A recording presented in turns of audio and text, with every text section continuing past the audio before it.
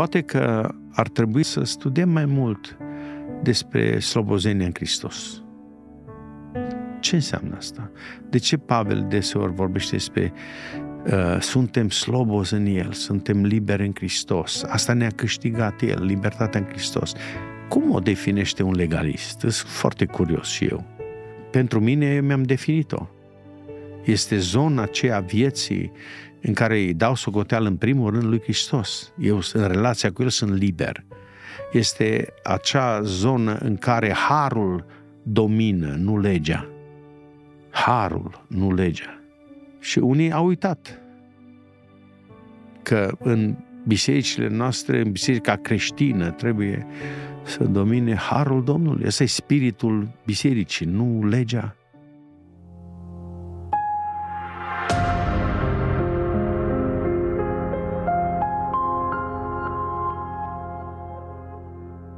Vă salut pe toți cei care sunteți alături de noi și cu această ocazie și uh, îmi exprim bucuria de a fi din nou împreună. Uh, vrem să ne apropiem din nou de Scriptură, vrem să avem o discuție uh, împreună cu invitatul nostru, o discuție importantă care ne va ajuta să înțelegem ce e viața de credință și cum ar trebui abordată viața de credință. Și mă bucur să-l avem în această zi alături de noi pe fratele Emil Bartoș, păstor și profesor de teologie. Bine ați venit alături de noi! Mulțumesc pentru invitație, îi salut și eu pe toți ascultătorii. Astăzi ne-am propus să avem o discuție din Scriptură pe tema pe care am intitulat-o legalismul. Uh, pentru că este o problemă cât se poate de reală și un aspect foarte important din viața de credință. Ne dorim să aducem înaintea dumneavoastră o înțelegere corectă și scripturală a ceea ce înseamnă legalismul, uh, cum se manifestă, cum ne dăm seama că suntem cam mușcat din fructul acesta legalismului, cum să uh, mergem pe drumul vindecării și ne dorim ca Dumnezeu să ne lumineze, să ne călăuzească pe noi și pe dumneavoastră și împreună să învățăm să trăim o viață de credință plenară. Frate păstor, haideți să începem cu începutul și vreau să vă adresez prima întrebare. Ce este legalismul și ce stă la baza legalismului? Um, legalismul este ați trăi viața sub lege. Și aici ne referim la legalismul din perspectivă creștină, din perspectivă biblică, pentru că termenul poate avea și alte conotații. Um,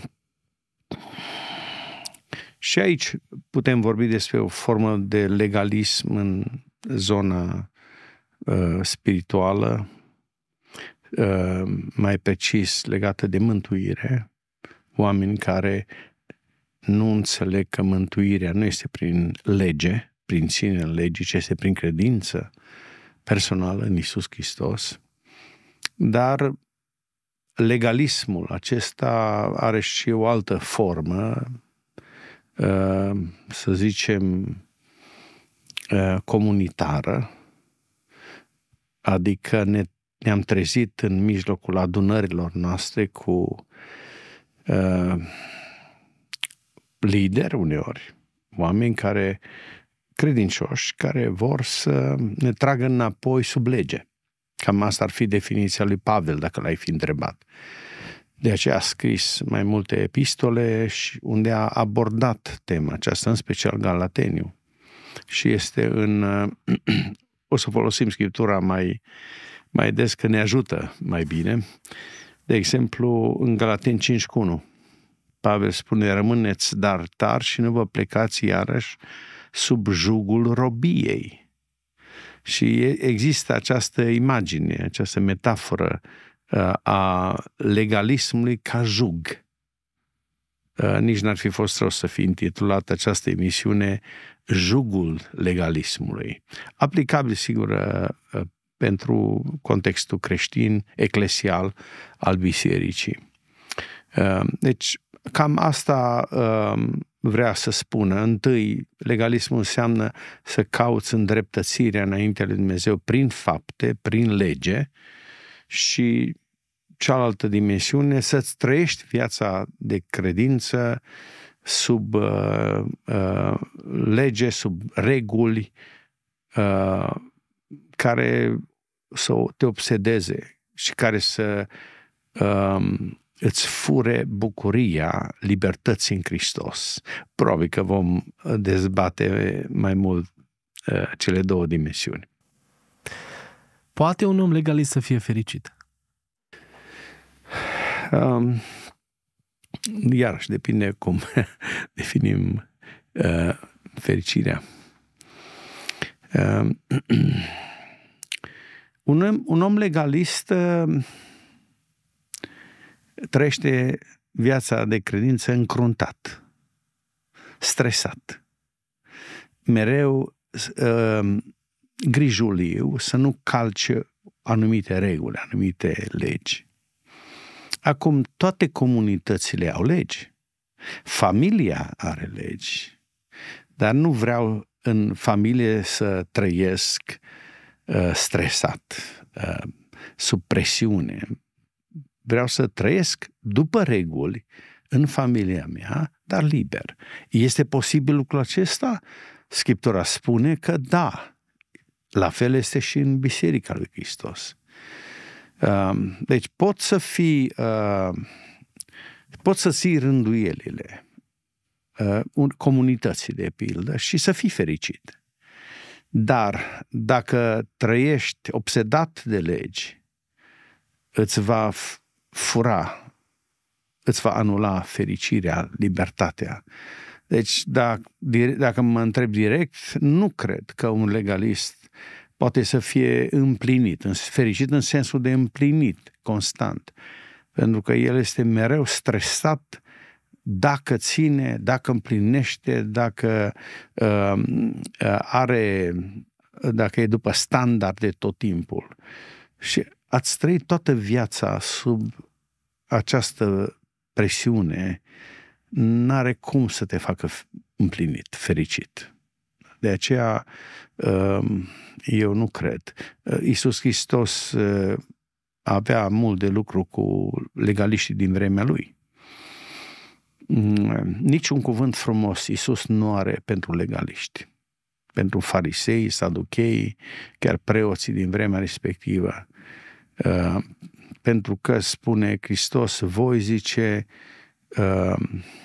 cereți oamenilor să țină anumite standarde, dar voi nu le împliniți.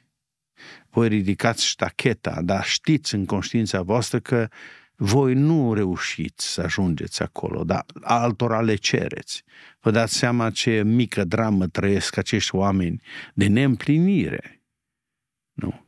Doar se vadă pe alții făcând ceea ce ei nu pot să realizeze.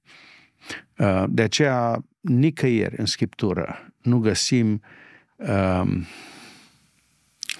aspecte pozitive așa față de legalism. Față de lege, da, uh, că trebuie să facem diferența aceasta. Una este să uh, ai să ții legea dată de Dumnezeu și alta este să transform legea aceea într-o obsesie. Da? Că e, e ca, o, ca o dependență, așa dacă ar fi să fac o paralelă astăzi. Așa erau unii dintre farisei din vremea lui Isus, obsedați de legi. Și se știe, uh, orice studiu de Nou Testament ne spune că existau mai multe școli în perioada lui Isus și una din aceste școli uh, de gândire, care a influențat poporul și liderii era uh, o școală care adăuga legi, crea reguli noi uh, în detalii.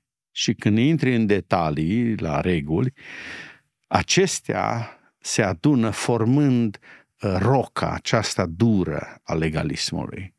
Și e foarte greu și de definit și de pătruns în ea. De aceea n-are cum să producă împlinire.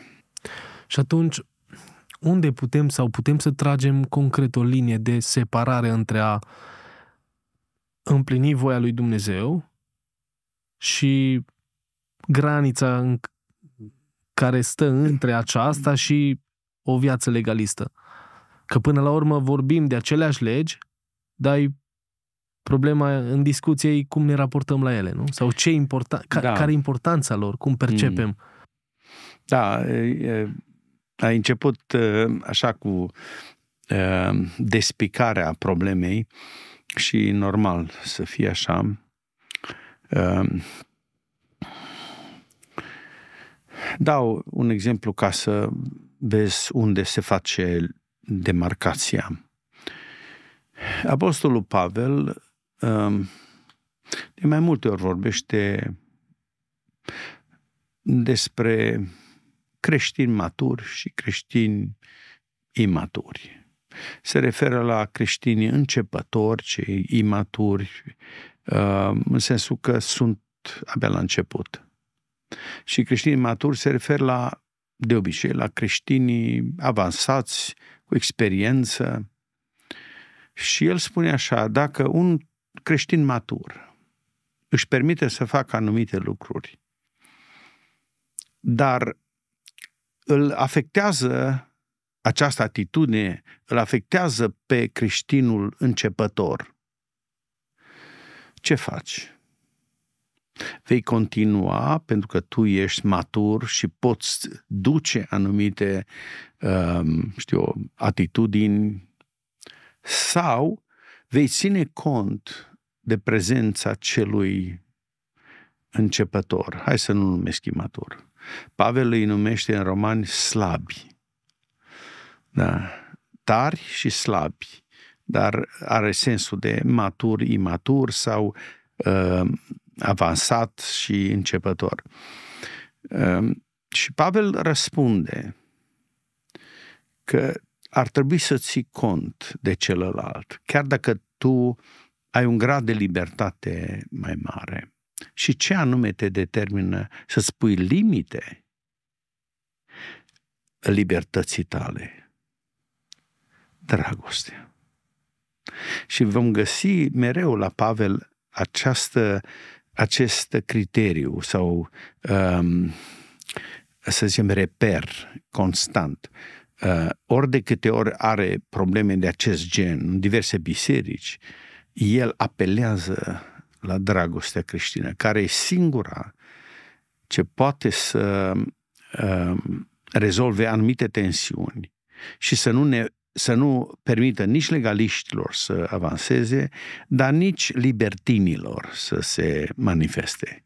Atunci, uh, uh, dragostea creștină cred că este răspunsul la problema asta.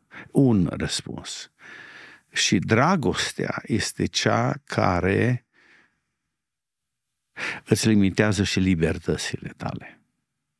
Deci să fie clar, noi creștinii nu suntem Ehm, suntem liberi în Hristos, dar nu avem o libertate nedeterminată. Toate libertățile noastre sunt determinate. Sunt determinate de relații, nu? Între noi, de uh, sfințenia lui Dumnezeu, de inspirația Scripturii.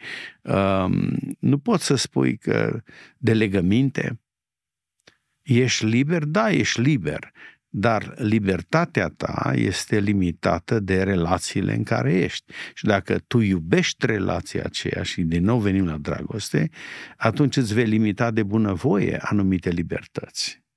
Și acesta e argumentul Apostolului Pavel și în Roman 14, când vorbește despre uh, uh, mâncare și lucruri, să zicem, uh, uzuale. Așa. Că, că și aici se manifestă acest principiu. Deci, uh, cu alte cuvinte, creștinul uh, uh, privește legile, regulile, le acceptă, dar le, le privește altfel, le folosește altfel și pune ingredientul acesta în ele, și anume dragostea în relații. De dragul celuilalt îmi voi limita eu libertățile. Sigur, nu funcționează totdeauna. De exemplu, dacă ai niște legaliști, că probabil că erai pregătit cu întrebare, așa De Adică dacă ai niște legaliști uh, din acestea, uh, să-i numim uh, foarte um, duri, linia dură, ca să nu zicem cărările vechi și să avem alte denumiri, uh, linia aceasta uh, mai conservatoare, încă și mai cuvântul e prea soft pentru uh, ei, um, totuși nu, nu poți să le dai credit acestora în detrimentul unor libertăți pe care totuși le avem, le, le-am câștigat. Care este limita și aici? Și atunci cred că mai trebuie un ingredient ca să vedem cum punem limitele. Și este înțelepciunea. Uh, în ultimul timp, uh, așa, uh, am studiat darul înțelepciunii, că nu prea se vorbește despre el. Toată lumea după darurile așa supranaturale, șocante din astea de primă linie, dar darul înțelepciunii e prezent în lista și a darurilor duhovnicești. Și darul, darul înțelepciunii înseamnă puterea de a discerne între ce minciună și adevăr, puterea de a discerne situații, înțelepciunea de a răspunde unei situații dificile. Ei, așa ceva, când te afli în fața unui legalist notoriu, îți trebuie înțelepciune să știi cum nici să nu-l pierzi, da? că poate el are, știu, intenții bune, dar în același timp nici să nu renunți la anumite principii, convingeri în care tu crezi.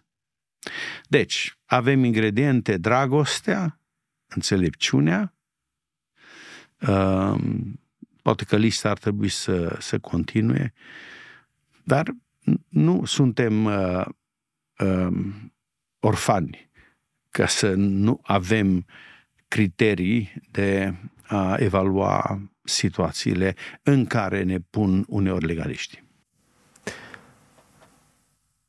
Acum, următoarea întrebare pe care aș vrea să, să vă adresez este de când a început biserica să se lupte cu spiritul ăsta al legalismului?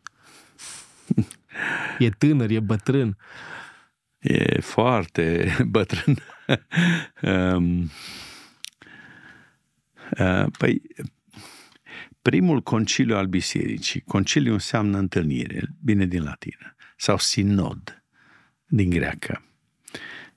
E același lucru. Prima întâlnire mare a bisericii care a adunat apostolii a fost la uh, Ierusalim, Faptele Apostolilor 15 ne descrie acel moment ce s-a întâmplat. Uh, care a fost problema? Exact aceasta. Și cum spune textul? Câțiva oameni veniți din Iudea învățau pe frați și ziceau, dacă nu sunteți tăiați în prejur după obiceiul lui Moise, nu puteți fi mântuiți. Da? Deci asta era o problemă foarte mare. Să-i spui cuiva, uh, dacă nu urmezi Ehm, legea mo- mozaic, legea evreilor, nu ești mântuit. Și dacă ești grec, dacă ești roman. Și deci au legat un ritual de mântuire. Aceeași problemă este și astăzi. Și noi avem datoria să oprim pe toți aceștia care leagă niște obiceiuri, niște opinii păreri îndoielnice, cum le spune Pavel în Roman 14, de mântuire. Nu e posibil așa ceva. Și de aceea apostolii s-au strâns. Și în final, uh, uh, apostolul Petru tranșează discuția și se ridică și vorbește. Uh, Versetul 10 din fapte 15. Acum, dar de ce ispitiți pe Dumnezeu și puneți pe grumazul ucenicilor un jug pe care nici părinții noștri, nici noi nu l-am putut purta? Din nou expresia jug. Expresia Cuvântul. jug, exact. Se referă la jugul uh, obiceiurilor, da, uh, uh, tradițiilor, da, regulilor, pe care unii evrei care au intrat în biserică le-au adus cu ei și au încercat să le impună celorlalți. Și dacă îmi ceri o definiție cumva așa a, a legalismului, pentru mine asta ar fi încercarea de a impune opinia ta celorlalți. Că erau probleme de interpretare, de opinii, de păreri. Și Petru spune, de ce încercați acest lucru? Și spune, de, credem că noi, ca și ei, suntem mântuiți, nu prin datii, nu prin obiceiuri, ci prin harul Domnului Isus. Și toată adunarea spune că a fost de acord, au scris o scrisoare către celelalte biserici. Deci, de la început, biserica s-a luptat cu problema aceasta și a trebuit să fie mare conciliu ca să uh, decide un principiu simplu, că mântuirea este prin har, prin credință, nu prin fapte, nu prin obiceiuri. Asta a fost doar începutul. Dar nu s-a rezolvat. Apostolul Pavel circula foarte mult și aproape în toate bisericile în care a fost, a dat de problema aceasta. În Galatia, e prima scrisoare scrisă de Pavel, în Galatia, acolo mult, toată tema din epistola către Galateni este despre aceasta. Cum să scap de jugul legalismului. Apoi Roma, cartea Romani, în special vezi Romani 14, apoi uh, Colose, Coloseni, aceleași lucruri, unii mai filozofi au încercat tot așa să impună uh, creștinilor anumite lucruri, asta să guște, asta să nu guște, asta să iei, asta să nu iei și Pavel trebuie să intervină. Și probabil cel mai uh, tranșa, direct așa și Pavel a intervenit la Corint, unde erau foarte multe probleme. Și eu nu înțeleg de ce această epistolă unii o iau normativă, când a fost o epistolă corectivă. A fost o scrisoare care a corectat o groază de probleme acolo. Și așa trebuie interpretată. Și una dintre aceste probleme a fost uh, că în biserica aceea erau unii care uh, trăiau după niște reguli, încercau să le impună celorlalți. Deci, um, și probabil că vom reveni la, la 1 Corinteni. Deci cam asta e uh, situația. De la început biserica s-a luptat cu problema legalismului și întotdeauna a fost. Uh, nu cred că vom scăpa de ea. Deci uh, nu vreau să spun că Harul lui Dumnezeu nu-i puternic și poate să biruiască, dar istoria bisericii a dovedit că în fiecare generație au fost problemele acestea.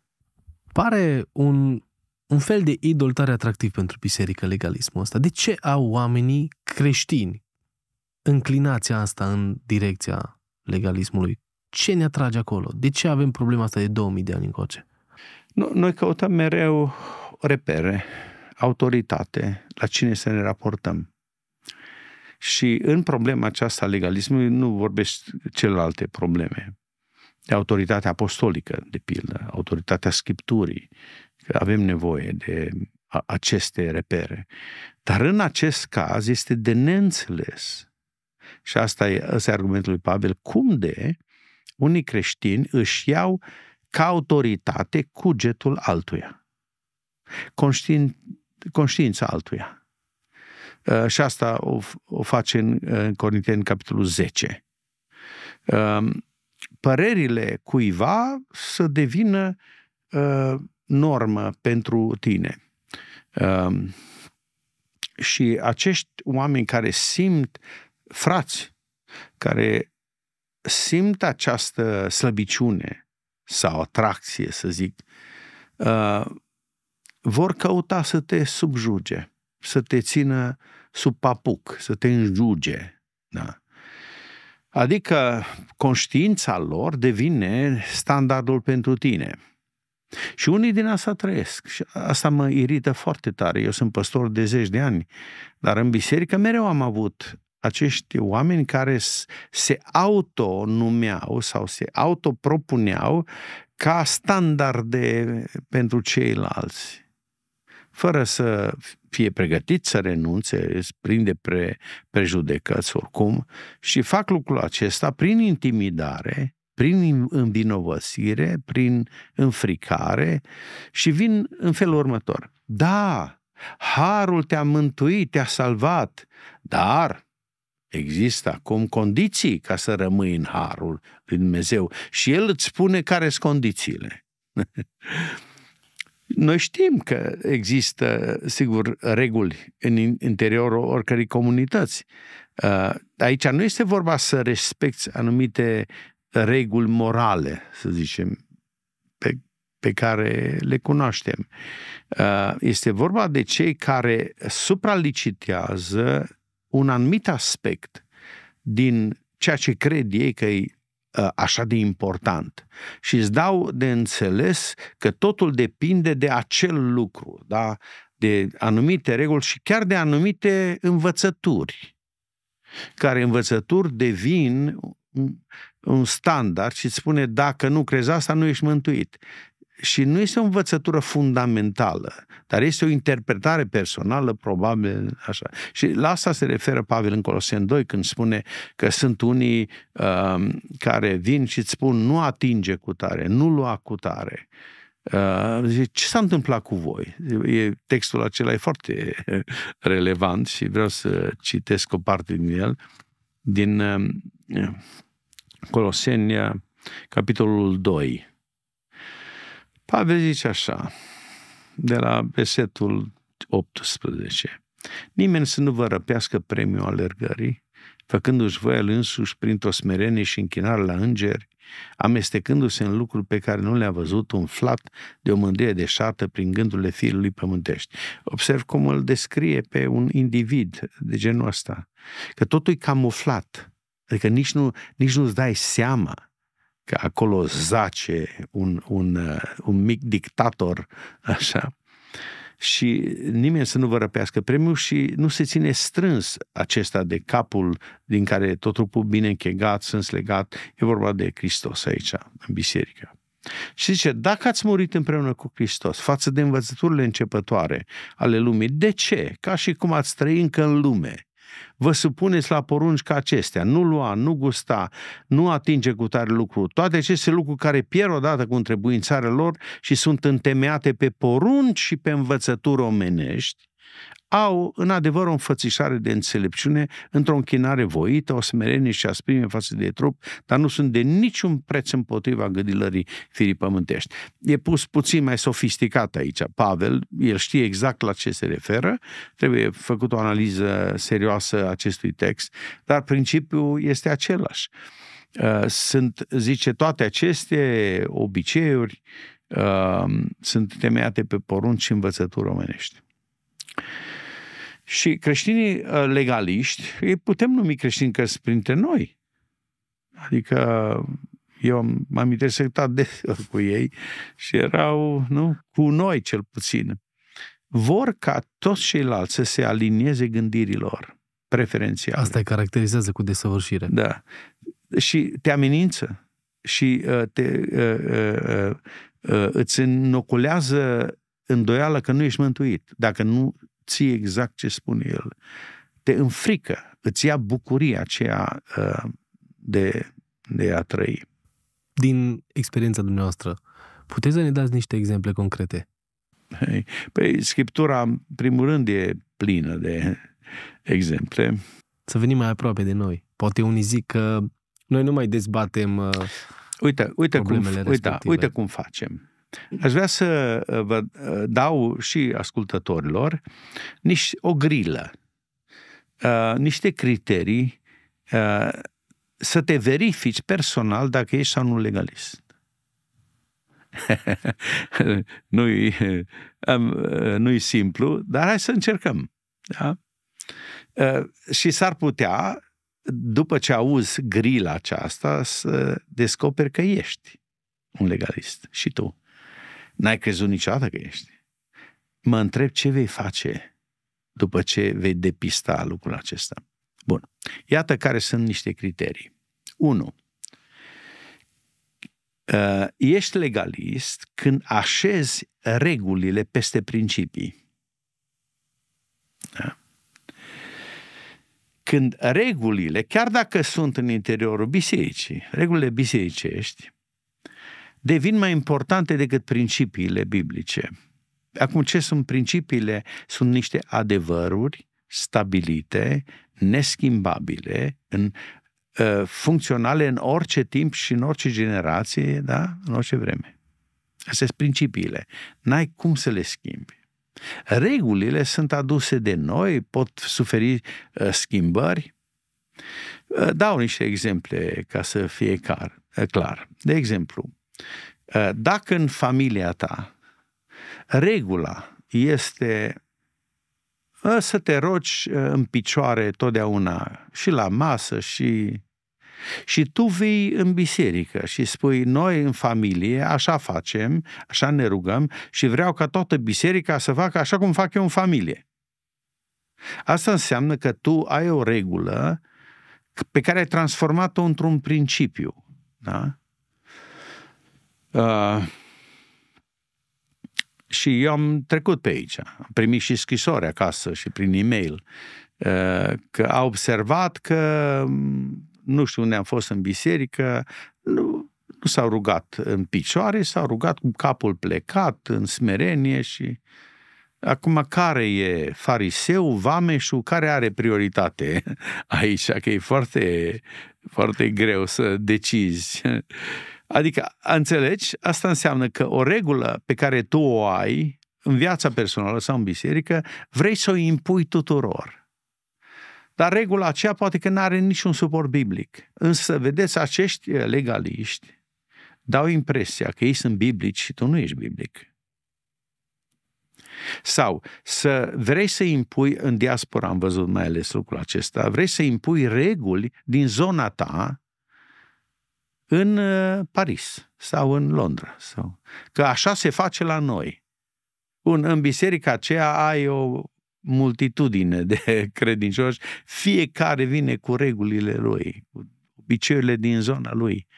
Dar dacă tu încerci să le impui și pui presiune, uh, transformi întâlnirea bisericii și prezența ta acolo în, în, uh, în ceva uh, rău. Un legalist, că acum pe ăsta îl descriu, da? să nu uiți, pe un legalist îl deranjează orice schimbare care se face, uneori spre binele uh, comunității. Da, da împotriva uh, opiniilor lui. Opiniei nu, opiniilor. Lui. Să le numim opinii, okay. păreri, da? Și tu aștepți ca tot să creadă ce crezi tu sau să facă ce cum crezi tu. Deci, legalismul, vedeți, confundă spiritualitatea adevărată cu obișnuința. Că așa ești obișnuit tu. Deci, când așezi regulile peste principii, e primul criteriu. Mai am încă unul, încă un filtru. Ești legalist atunci când faci legi morale din ceva ce uh, Biblia uh, nu numește așa. Um, și aici chestii minore, vă dați seama. E păcat uh, să bei cafea, e, e, e păcat să da. porți cravată. Uitați-vă de pildă la obiceiul nostru în bisericile evanghelice, ca bărbații să te separat de femei. Deci până la, până la ușa bisericii vii cu soția ta de braț, cu copiii tăi lângă tine și când ajungi în fața bisericii, semnalul care e? Fiecare își vede de calea lui. Și când am văzut la americani și la englezi uh, faptul că ei se strângeau ca familii în biserică. Și și problema copiilor era rezolvată, așa. Nu se plimba de la un uh, părinte la altul. Da, și în sfârșit stăteau acolo, era o, era o unitate cumva. Am încercat să implementez și am reușit să implementez în, în bisericile mele. Nu, n-a fost ușor, pentru că obice, obișnuința, iarăși revin la obișnuință, i-a făcut pe uh, mulți să zică, a, nu, noi așa am învățat și uh, nu poți să acuzi aceste biserici care uh, uh, sunt de acord ca în biserică să te soțul lângă soție. Nu poți să-i acuzi de imoralitate, dar știți că unii încearcă lucrul acesta. Eu am auzit așa ceva. că te ispitește dacă stai din greșeală lângă altă femeie sau lângă alt bărbat și promovăm cumva un fel de imoralitate. Din orice poți transforma așa ceva. Uh, dar a, suntem contra ispitirii, de acord, dar a transforma într-o lege morală ceva ce ține de cultură, de un obicei local, nu are nimic de a face cu partea aceasta. Um, e ca și cum, nu știu, dacă ai pomenit de, de, de televizor. Nu, sau, n-am pomenit. Dar sunt unii obsedați de chestia asta. Uh, cu alte cuvinte, uh, nu ai voie să ai nimic ce te poate ispiti. Da? Uh, unde găsești așa ceva? Ne-am rupe complet de viața socială, poți orice transforma în, între ceva bine sau în ceva rău. Mă refer la obiceiuri sau la chestii din casa ta. Nu? Um, bun. Și de aceea Pavel foarte frumos, de mai multe ori el spune, nu fac din asta o poruncă. El dă niște sfaturi. Dar încă o dată, dă niște sfaturi. Dar nu face din ele legi morale. Da? Zice, ar fi bine să fie așa, vă îndemn așa, dar nu e o poruncă. Trebuie să ținem cont de, de asta. Al treilea criteriu, mi l-am notat aici, este acesta. Poți fi legalist când ești părtinitor sau subiectiv în alegerea regulilor. Uneori zici, bun, a, aceasta, aceasta nu trebuie făcut. Da? Eu cred că așa ceva nu trebuie făcut. Dar când, este, când problema aceea are de a face cu tine sau cu familia ta, dintr-o dată te schimbi. Și, uite, regula nu se mai aplică. Uh, cu alte cuvinte, aștepți ca alții să nu fie atât de liberi în anumite domenii neutre, după cum ești tu de liber în alte domenii neutre. Da? Uh, că ai pomenit de cafea, nu? Uh, judeci pe cineva că bea cafea, da? Uh, dar în același timp uh, nu-ți place că cineva, o femeie, să zicem, vine cu împălărie în biserică și nu cu batic. Sau prezența la restaurant, că unii sunt și împotriva prezențe la uh, uh, restaurant. Sau să pomenim neapărat instrumentele muzicale, că toată lumea se leagă de ele, de parcă ele, săracele, ar fi uh, problema. Uh, adică ești foarte subiectiv când spui numai aceste, numai aceste instrumente pot fi în biserică. Pe ce criteriu? Păi nu sunt pomenite în, bise- în, în Noul Testament. În Noul Testament nu sunt pomenite foarte multe lucruri pe care le faci și tu. Nici microfoanele la care predică. Da, da, da, da. Uh, deci, îmi pare rău să spun, dar uh, cugetul acestor oameni nu funcționează corect. Uh, din nou, ești subiectiv în alegerea unor reguli pe care tu vrei să le impui celorlalți. Mai am încă un filtru. Sună atât de tare mândrie. Sună, da. Tot ce ipocri... spunem despre legalism. Spun că sună ipocrizie. Bun, ă, al patrulea criteriu. Când, ă, cum te poți verifica dacă ești sau nu legalist? Ești legalist când insiști ca orice situație să fie judecată după reguli precise. De obicei, un legalist ă, fuge de ambiguitate. Pentru el, toate lucrurile trebuie să fie clare. Da? Uh, dacă nu dă Biblia un răspuns, va da el un răspuns. El nu poate să accepte că există situații în care fiecare alege pentru el. Are voie să gândească. Da, și decide pentru el, cum spune Pavel în Romani 14. Cine ești tu, zice, că îl judeci pe robul altuia? Are el stăpânul lui. Va da socoteală în fața stăpânului. Asta e uh, altfel spus, principiul. Uh, și uh, acum presez puțin, pentru că am avut de face cu acești legaliști. Lor nu le place că Biblia tace în anumite chestiuni. De aceea vor să răspundă acolo unde Biblia tace. și aici m-aș lega chiar de problema podoabelor. Da? Cum interpretez, cum e 1 Petru capitolul 3. Uh, Acolo trebuie să iei tot pachetul, dacă vrei să-l iei. Da? Și uh, uh, pachetul lui Petru este, tot ce spune el acolo, este uh, în biserică și în familie să uh, existe decență. El nu vrea să spună podoabe acolo și noi să definim ce sunt podobele. Uh, știm noi cum arătat, arătau podoabele atunci și acolo e un principiu pe care Petru îl scoate. Uh, uh, Petru nu vrea să intre în detalii, dar vrea să spună doar așa, că felul în care te îmbraci, ești, ă, te porți în afară, arată cine ești înăuntru. Și trebuie să existe concordanță da, între cine ești înăuntru și cine ești în afară. Ăsta e principiul. Și lasă la îndemâna credinciosului cum să rezolve problema aceasta. Dar unii nu. Și aici intervin și ei sunt cei care spun ce a vrut să spună Petru, exact asta. Mm, orice exeget uh, ți-ar spune că nu așa se interpretează un astfel de text biblic. De aceea această insistență a unora ca orice situație să fie judecată după niște reguli precise um, e semn de legalism. Pentru că Biblia uh, are suficiente cazuri în care nu-i precisă, în, în care Pavel spune, nu-i poruncă. Și nu numai Apostolul Pavel, și Domnul Isus.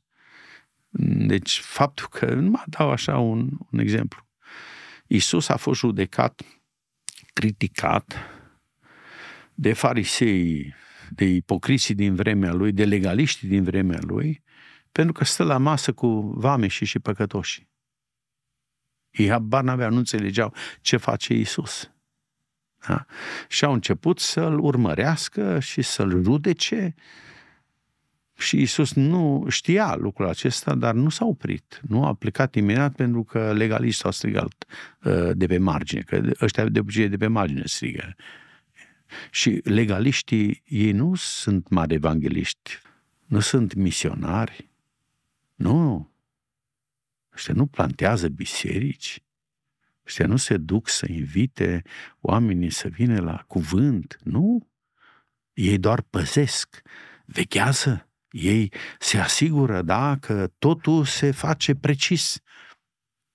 Acesta a fost o problemă, să știți, și cu noi. Noi, noi avem o moștenire evanghelică din România, avem mai multe li, uh, surse de moștenire, surse din astea istorice. Întâi este anabaptismul, eu nu cred că ei sunt principalii noștri, uh, să zicem, înaintași.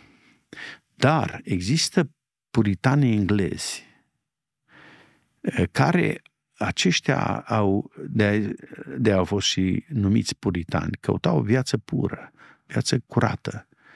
Au vrut să schimbe uh, inima bisericii anglicane. N-au reușit în totalitate, dar ani de zile, sute de ani, au fost importanți pentru biserică, au menținut un spirit uh, viu, cuvântul lui Dumnezeu, doctrină sănătoasă, da, experiențe verificate și așa mai departe.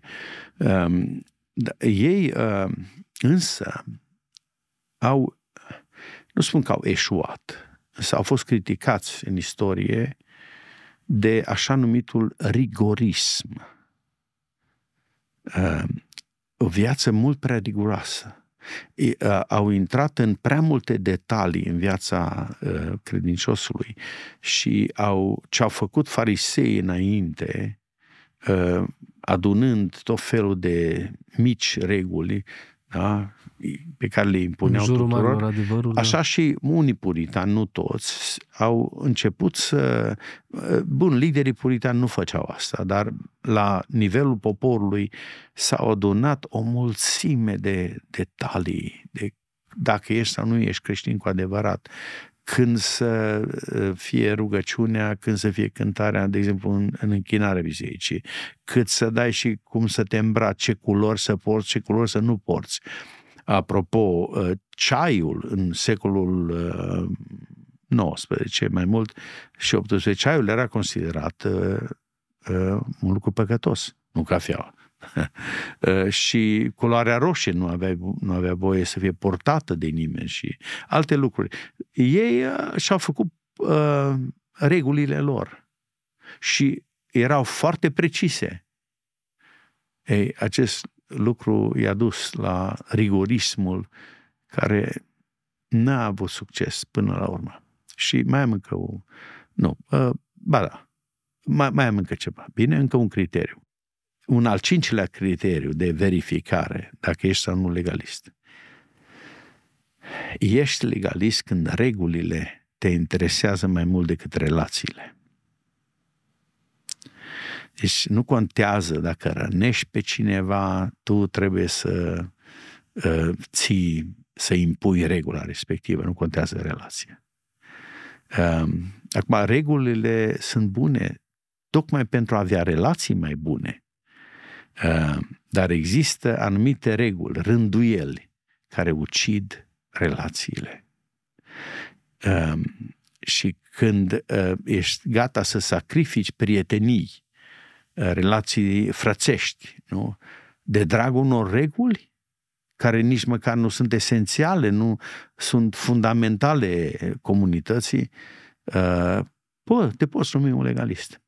Și mi-am încheiat uh, filtrele. Deci cinci filtre am pus aici. E bine pentru, pentru ascultători ca și pentru mine că putem să le vedem din nou și din nou că va fi urcat uh, episodul nostru pe YouTube și vom avea acces la ele, să ne facem grila.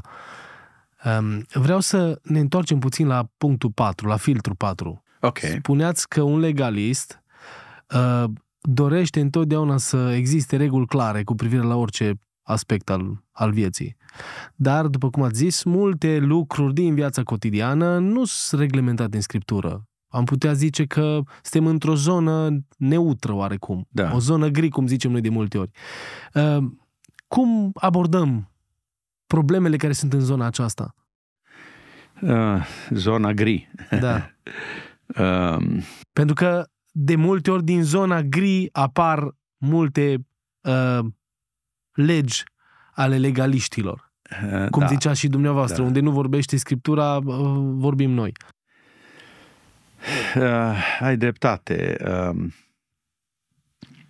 acum și în zona asta sunt extreme nici nu discut acum extremele, ar fi interesant.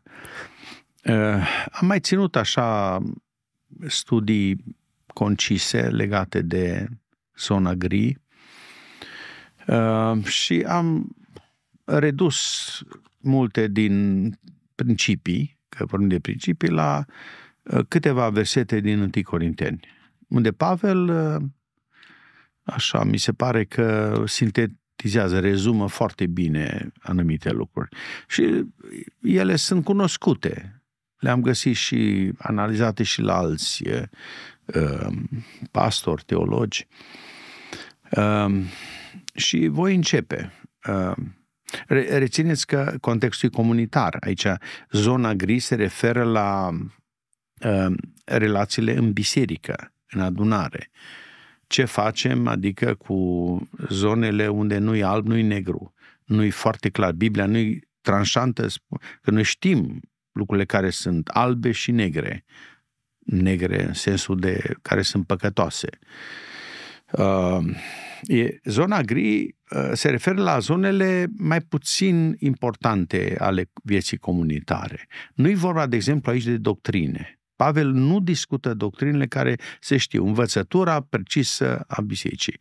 Și nu discută nici principiile morale clare.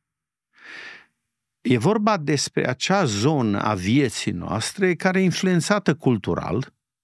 Sunt niște tradiții, niște obiceiuri, da, care diferă de la comunitate la alta. Și în aceste aspecte Biblia nu e uh, prescriptivă da, clară. Și ne dă nouă puterea uh, alegerii și vrea să exersăm liber acest dar, uh, să, ca noi să decidem în astfel de situații. Avem libertate în Hristos, avem libertatea noastră, avem rațiune, avem liber arbitru, nu? puterea de a decide, de a alege, așa ne-a înzestrat Dumnezeu. Dar anumite, uh, uh, să zicem, principii aici sunt, le putem extrage din ce spune Pavel. Și iată care ar fi acestea. 1 uh, Corinteni 6 cu 12, prima parte. Toate lucrurile îmi sunt îngăduite, dar nu toate sunt de folos. Ăsta e primul criteriu. Îți folosește? Toate, zice, sunt îngăduite. Ai libertatea de a face anumite lucruri, de a alege, a merge undeva, a mânca ceva sau privi sau ai, ai o libertate, o demnitate a ființei umane prin creație. Dar Pavel zice, primul filtru, tot de filtre vorbim acum, deși poate că uh, n-ar trebui numit filtru, ci să zicem uh, reper. Ar trebui un reper. Îți folosește sau nu? Și uh, mă refer, uh, aici Pavel în special se referă la uh, chestiuni trupești. Da? Uh, poți să mănânci, poți să bei, poți să folosești trupul tău în anumite uh, feluri, dar nu uita că ai responsabilitate față de trupul pe care ți l-a dat Dumnezeu. Nu poți să faci orice vrei cu el. Nu poți să-l necinstești prin imoralitate sexuală. Ăsta e contextul din 1 Corinteni 6. Deci chiar dacă ai libertatea aceasta, ea este limitată, cum am spus, și de relații, de legăminte. De aceea un creștin trebuie să se gândească, pot să fac cu trupul meu orice, dar îți folosește ce faci. Și aici mă refer și la viața sexuală, și la igienă, și la hrană. Ceea ce faci tu cu ceea ce ți-a dat Dumnezeu, cui folosește? Um, asta e primul criteriu. Al doilea, tot în versetul 12 din 1 Corinteni 6, partea a doua. Toate lucrurile îmi sunt îngăduite, scrie Pavel, dar nimic nu trebuie să pună stăpânire pe mine. Al doilea criteriu, te stăpânește? Sunt semne că ceea ce faci în libertatea ta, te duce la dependență. Uh, deci, toate sunt îngăduite, dar nu toate te pot ajuta. Unele te vor, unele vor fi stăpânul tău și tu vei fi sclavul acelor lucruri. Um, chiar dacă, spune Pavel, de genul acesta, chiar dacă ți se permite să faci anumite lucruri, nu înseamnă să uh, uh, neapărat să faci lucrul respectiv. Um, trebuie să socotești, să vezi, nu cumva deja sunt semne de stăpânire uh, uh, care, uh, spiritual vorbind, evident. Uh, orice dependență se știe că vine în etape. Robia vine în etape. Um, când ești leneș, comod, relaxat um, și tu îți permiți anumite lucruri. Um, și Pavel spune, nu cumva sunt semnele stăpânirii? Și ar fi bine să, să te verifici. Iau numai internetul. Sunt niște criterii serioase aici. Uh, și psihologii le-au elaborat și uh, consilierii să te verifici dacă ești deja dependent de, de lumea asta virtuală sunt niște semne fizice, știu, oboseală, stres, iritabilitate, ascuns lucruri, încep să minți pentru a rămâne pe internet, uh, uh, sacrifici chiar relații uh, pentru patima ta, pentru ce ai. Um, și în partea spirituală nu ai mai crescut spiritual de foarte mult timp. Caz des în anumite păcate și repeți anumite păcate. Deci nu, nu sunt grele aceste. Adică oricine cât de cât e se cunoaște pe el însuși sau uh, știe în ce fază este. Asta e, asta e al doilea criteriu. Deci primul, îți folosește? Ești liber să faci multe. Dar îți folosesc al, al doilea. Toate sunt îngătuite, dar nu cumva a pus stăpânire pe tine, a început să te controleze. Al, al treilea criteriu, uh, l-am menționat puțin, dar uh, hai să-l pun în ordinea în care apare în Corinteni.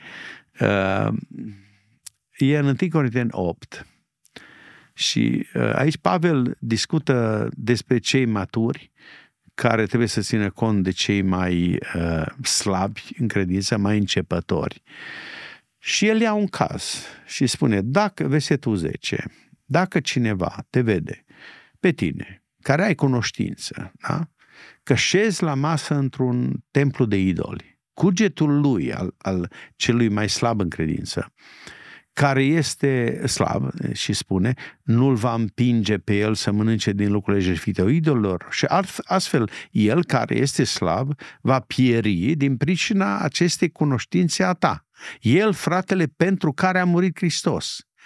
Și Pavel spune, dacă păcătuiți astfel împotriva fraților și le răniți cugetul lor slab, păcătuiți împotriva lui Hristos. De aceea, dacă o mâncare face pe fratele meu să păcătuiască, nu voi mânca niciodată carne ca să nu fac pe fratele meu să păcătuiască. E vorba de carne cerfită idolilor. Da, era un context uh, cultural, religios în Corint.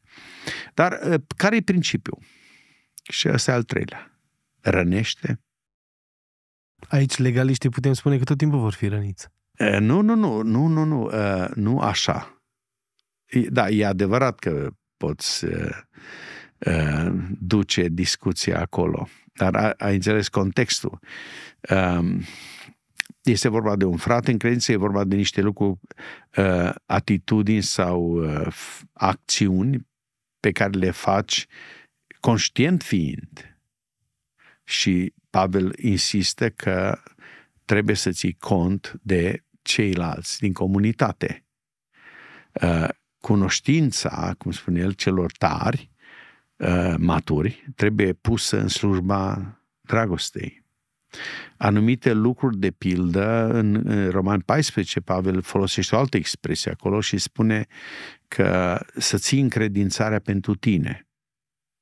Da? Um, uh, rănirea este la nivel spiritual, ne-am, ne-am dat seama că despre asta este vorba. Um, și de aceea revin la ce am spus deja, că libertatea ta totuși uh, este limitată de, de relațiile tale. Să că te gândești la cei de lângă tine. Uh, ce, da. ce voiam să menționez adineori e faptul că vor fi oameni care și după 20-30 de ani de pocăință, de umblare pe calea credinței, vor fi deranjați de un comportament, cum ați zis adineori un exemplu, că eu mă duc la restaurant cu familia. Aici, de obicei, aici se disputa cea mai mare între mine, care vreau să aplic principiile respective, aceste repere, și oamenii legaliști cu care am de-a face și care tot timpul vor fi deranjați. Adică până unde ne ducem cu da, am înțeles, preocuparea? Am înțeles. Deci libertatea îți este limitată și de moralitate. În cazul acesta, despre asta este vorba. Deci dacă tu nu faci nimic uh, uh, rău, imoral, uh, nu trebuie să te supui la ceea ce îți cere nu știu cine, că el are o altă opinie. Deci invențiile unora uh, nu trebuie să fie, sau, cum se spun, opiniile unora nu trebuie să fie automat un, o piedică pentru tine să îți vezi de viața ta liberă. Uh, acestea sunt niște conflicte create artificial, Așa inutil. Aici Pavel vorbește despre altceva. E vorba de context religios, e vorba de idoli, Ehm, și aspectul acesta era foarte sensibil în, în perioada respectivă. Și probabil că în, în Corint uh, unii din elita cum credeau ei că sunt elită spirituală, uh, îi sfidau pe ceilalți și făceau lucruri care deveneau pricină de potignire, de scandal pentru ceilalți.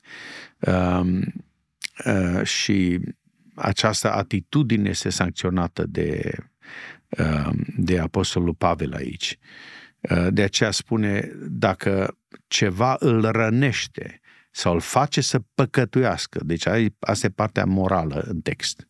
Îl face să păcătuiască. Atunci tu, care ești matur, trebuie să te abții, trebuie să te oprești. Uh, ca să nu-l faci pe fratele tău, da. zice, să, să păcătuiască. Bun, uh, al patrulea criteriu îl găsim în 1 Corinteni 10, uh, partea a doua, versetul 23. Toate lucrurile sunt îngăduite, dar nu toate zidesc. Și acest al patrulea principiu este te zidește sau zidește pe ceilalți, pentru că ceea ce facem noi afectează inevitabil pe cei din jur și mai ales în comunitatea de credință. A zidi aici are sens de a ajuta la promovarea celuilalt, la unitatea uh, bisericii. Uh, și Pavel pune o situație. Ești invitat la masă undeva. Și ai vrea să te duci. Și vine momentul când trebuie să mănânci. Și ți se spune că unele mâncări au fost dedicate idolilor. Ce faci? Uh, și uh, decizia este uh, să te întrebi, nu? Uh, ei, cum îi afectează pe ceilalți din jurul tău? Uh, dar nu totdeauna ceri aprobarea cugetului uh, celuilalt, că atunci cugetul celălalt devine stăpânul tău. Uh, Pavel spune, trebuie să uh, aici să uh, uh, să te întreb ce final va avea acțiunea mea. Iași revenim la înțelepciune. Uh, Pavel mizează aici pe e contra individualismului, adică tu nu poți să nu iei în calcul uh, ce, ce, pe cei, uh, cei care sunt lângă tine. Uh, sunt niște acțiuni care nu sunt uh, păcat, dar nici nu zidesc, nici nu ajută la unitate și la credința celorlalți. Uh, am întâlnit aceasta pe teren în viața pastorală cu băutura. Unii, uh, alcoolul, mă refer, unii n-au nicio problemă să bea. Ei, pentru ei uh, este libertate. Uh, dar ai o altă situație, în aceeași adunare, poate în același grup de casă, ai o altă familie care vine din exterior, au uh, intrat în biserică, dar el, să zicem, a fost cândva, a avut cândva această patimă a băuturii. Și tu știi asta. Îl inviți la masă la tine. Tu îți permiți să bei alcool. Vei pune băutura pe masă când știi că fratele tău care e acolo cu tine abia s-a întors de la, la Domnul dintr-o patimă Adică Pavel zice, calculați efectele. Zidește sau nu zidește? Limitează-ți atunci anumite lucruri, uh, libertăți ale tale, uh, care nu zidesc, nu aduc zidire. Și asta nu prea înțeleg unii. Și sunt în stare uh, să răstoarne conducerea bisericii sunt în stare să uh, nu aleagă păstorul care e împotriva anumitor practici din acestea, numai pentru ca să-și dea dreptate sau să uh, își, își continue libertatea lui. Pavel spunea în Romani 14 cu 19, așadar să urmărim lucrurile care duc la pacea și zidirea noastră. Cum aplică un astfel de om, un credincios, acest principiu. Da?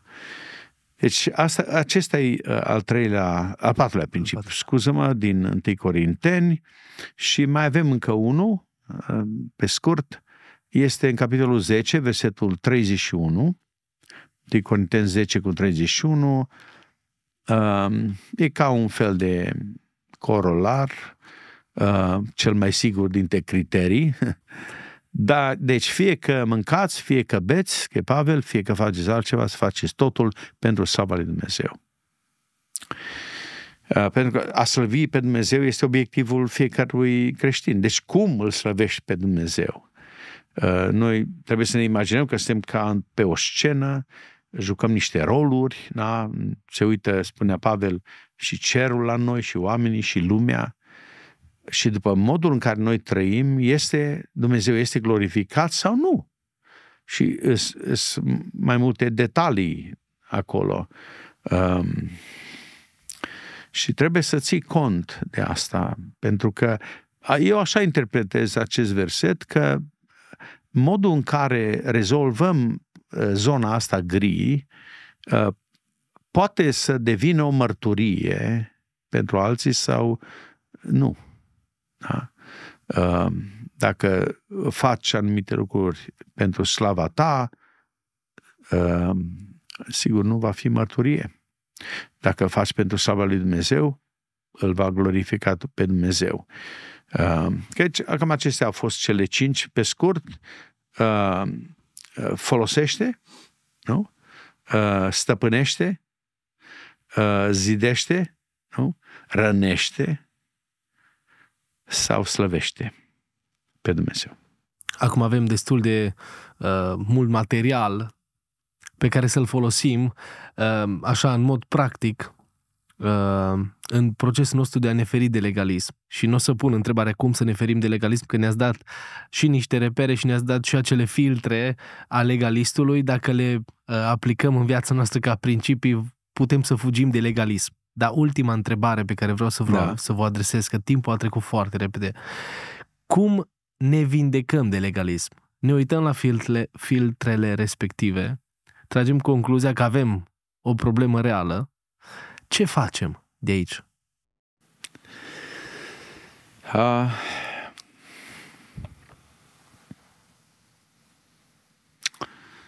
uh, întâi de toate, cred că E o problemă de priorități. Dacă prioritatea ta este să-ți dai dreptate, să te justifici, să ieși în evidență, să te impui, e o formă de mândrie, de egoism. Dacă prioritatea ta este Dumnezeu, glorificarea Lui, sunt ceilalți, relațiile cu ceilalți, atunci vei fi mai ponderat, mai înțelept, mai atent și nu te vei transforma într-un legalist care ești gata să schimbi orice numai să te impui tu. Um, această reordonare, cred că primul pas ar fi o reordonare a priorităților în sufletul tău, viața ta, viața mea. Um, ceea ce fac eu, cum îl aduce glorile lui Dumnezeu, cum uh, ține, menține relațiile în, în adunare și chiar în familie. Dacă prioritatea ta nu este aceasta, vei continua. Um, mă gândeam, al doilea lucru este uh, uh, cu cât stai mai mult în relație cu oamenii, cu cât uh, cauți să înțelegi mai bine, vei căuta să-i slujești mai mult. Asta te va feri de, de legalism. Uh, așa, uh, și încă ceva. Uh, Poate că ar trebui să, și în biserici și în viața personală, să studiem mai mult despre slobozenia în Hristos. Ce înseamnă asta? De ce Pavel deseori vorbește despre Uh, suntem slobos în El, suntem liberi în Hristos. Asta ne-a câștigat El, libertatea în Hristos. Cum o definește un legalist? Sunt foarte curios și eu. Uh, pentru mine mi-am definit-o. Este zona aceea vieții în care îi dau socoteală în primul rând lui Hristos. Eu în relația cu El sunt liber. Este acea zonă în care harul domină, nu legea. Harul, nu legea. Uh, și unii au uitat că în bisericile noastre, în biserica creștină, trebuie să domine harul Domnului. Ăsta e spiritul bisericii, nu legea. Și mă refer la lege în sensul acesta um, um, negativ. Da? sensul pe care îl are și Pavel în vizor, de exemplu, în epistola către Galateni. Uh, de aceea spune el, zice, ați început în Duhul și vreți să sfârșiți în firea pământească, vă lăsați pradă pornirilor, instinctelor imediate și am observat acest lucru la legaliști. Uh, că ei uh, dau drumul primului instinct, instinctului primar, așa, ce vine, aia spune, aia cred, nu sunt pregătiți de, de schimbare. Și asta e încă un lucru ce ar trebui să facem. Ar trebui să fim pregătiți să renunțăm la anumite prejudecăți. Și mai ales când trăiești în comunitate. Uh, uh, nu știu cât de pregătiți suntem, uh, uh, dar vă dau eu un exemplu așa așa am crescut și eu, în, în uh, sosul ăsta legalist. Și nu aveam voie să mă duc la o altă biserică decât la biserica mea. Să cânt cântări decât din anumite carte cântări. Să uh, mă învăț de viața, ritualurile mele așa cum le-am primit. Ei, am crescut, am ajuns și la oraș, am schimbat biserica, m-am intersectat cu alt credincioși în timp și am descoperit că există și alte biserici, că există și alți creștini din alte denominații și din alte confesiuni, că împărăția lui Dumnezeu e mult mai largă decât uh, mi s-a spus. Și de aceea sfatul meu este să ieșiți mai des și să cunoașteți mai bine Biserica lui Hristos să vedeți că biserica e vie și în alte părți, nu numai unde crezi tu că este. Să spargi niște tipare, niște prejudecăți. Um,